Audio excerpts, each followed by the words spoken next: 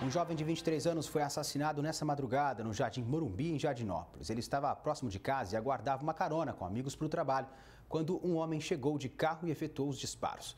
O jovem não resistiu e o caso será investigado.